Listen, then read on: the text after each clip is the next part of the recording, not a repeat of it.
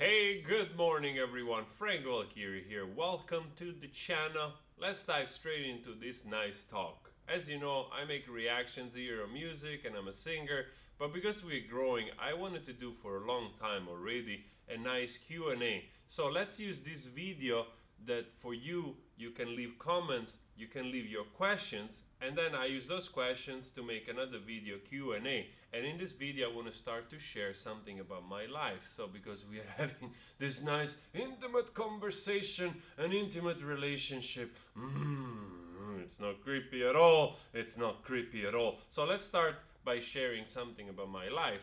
And probably you notice that most of the time I'm alone in this house, just with my imaginary battler. But yes, probably you guessed, I'm single. I've been single for the past four and a half years or so.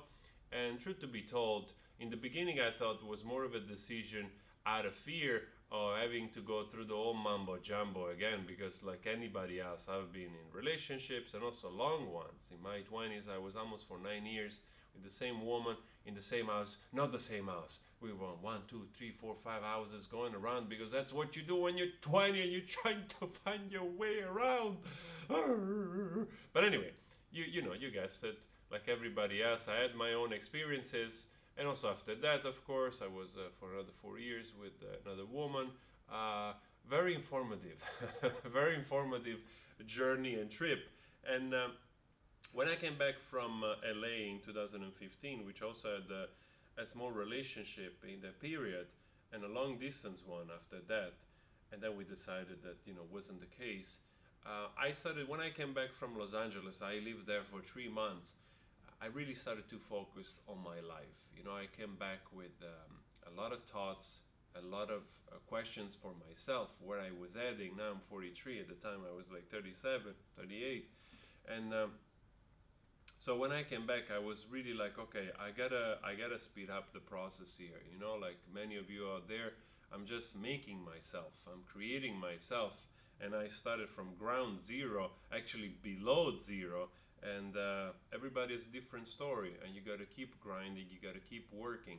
So when I came back, I had this realization, okay, less distraction, I gotta put in the work, I gotta focus more constantly every day. So the main focus when I came back became my work, my business, uh, which I still have today, and I work on it today. My import business uh, from Italy, uh, food import from Italy, and then also my musical career and my YouTube channel that it's been very in the past year something that I really wanted to do and grow. So the more I push forward, the more I'm focused on what really makes my life and can potentially make my life better in the direction that I really truly desire. So all of those other things they became less compelling to me. So from just being afraid, um, having the feeling of being afraid of committing or being in a relationship, I realized that there was more to it.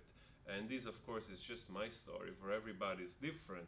I realized I don't need so much that right now. So I'm not saying that I'm against people being together because it's the most natural thing ever, especially when people want to start a family. But then again, that it's a completely different side of the story and life. You know, people at a certain point they get into that phase where they feel the need of procreating, having their own family. Women they really feel strongly the need to have children and, and, and guys to become fathers. And it's all great, it's all normal, but I never really felt that urge. I've never really felt that urge of becoming a father. So I started to be more honest with myself and getting out of also the pressure that society puts on you. You know, nowadays also for a woman sometimes that doesn't want to have kids seems like strange, you know, also for a guys not to wanting to have kids, when in fact is also normal. It's the part of, of life and the variable of, of choices that human can make in their own existence uh, to live their life however they want without feeling the pressure of society of religions which most of the time is the culprit for people to feel the pressure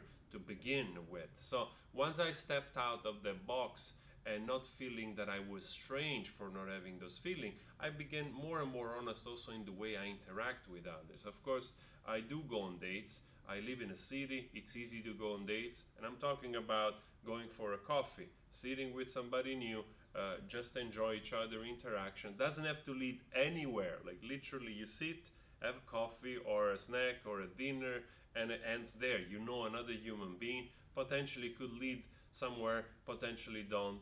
But it's just the, the, the part of city life that people, the way you interact socially. So I do that, but I do that with a lot of honesty, with no expectations when I bring in, you know, myself. Because also nowadays, relationship people bring in themselves with what they have, their baggage, and most time than not, we try to sort of compensate what we don't have in the search into somebody else, you know, from someone else. And that's also something that I realized, and I started to go more inward, look inward into me, and tell me, like, okay, I gotta find that spark, I gotta find that well where my self love resides, and just make sure that keeps flowing and keeps going because I have to love myself. I have to fully embrace myself, completely self love myself. Otherwise, there is no way I can interact with any other human being in a very honest, pure way. It's just not gonna work. And again, like I said, in this period is functioning well for me like this, but uh, you know, I'm open to the idea of spending time with another human being, of course. So we will see. But you gotta be honest, you gotta be open, and you still have to be committed to yourself first. If you're not committed to yourself, it's just you just distract yourself. You know, you just like going in loops, and that's something that I've done the mistake in the past, and I don't want to see myself repeating those things anymore. So I'm really focusing on me. And for some people, this might sound like egotistical or being egoist. To me, it just sounds like you got to create your life.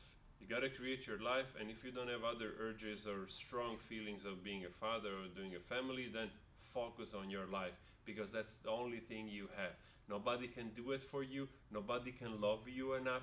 You cannot get nothing from other people in their way, uh, but you have to start from within. And when you start from within, then all the other love pours in, pours in from every other places. So uh, this is where I'm at basically.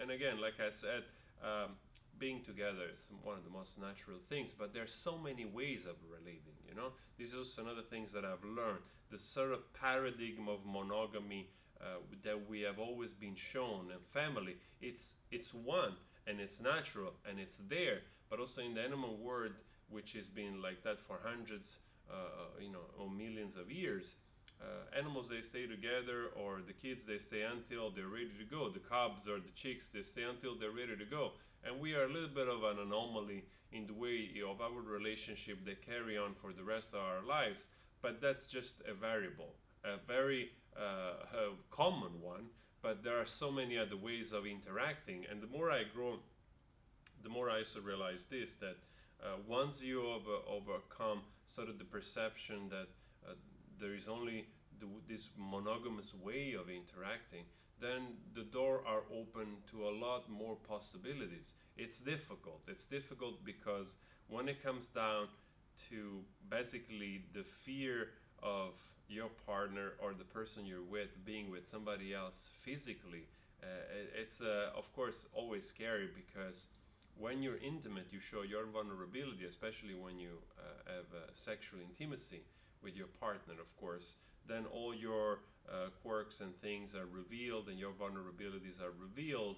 And uh, we don't want to share that, or we don't want to have the feeling that the other person that we, we have shown ourselves can go somewhere else also, because it makes us feel insecure and the fear of rejection and all of those other things. But once you worked those things out, you also opens up the door to much more possibilities because I do believe that in nature the majority of people potentially are polyamorous. So here we are. We shared a little bit of inner working of my head. Let me know where you stand and how you stand on this subject.